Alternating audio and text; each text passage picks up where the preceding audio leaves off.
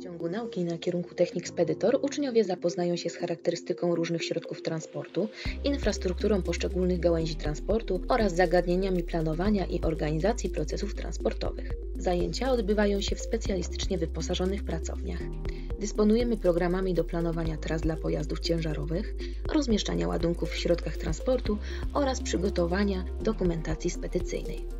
Czasie zajęć praktycznych uczniowie realizują zadania zawodowe na hali przeładunkowo-logistycznej, korzystając z branżowego wyposażenia, m.in. wózków widłowych elektrycznych oraz ręcznych, urządzenia do streczowania oraz systemów identyfikacji ładunku i generowania etykiet transportowych. Hala odzwierciedla rzeczywisty układ magazynu dystrybucyjnego z regałami paletowymi i półkowymi oraz różnorodnymi jednostkami ładunkowymi. Uczniowie pracują również ze zdalnie sterowanymi modelami wózków. Technik spedytor to poszukiwany na rynku pracy zawód.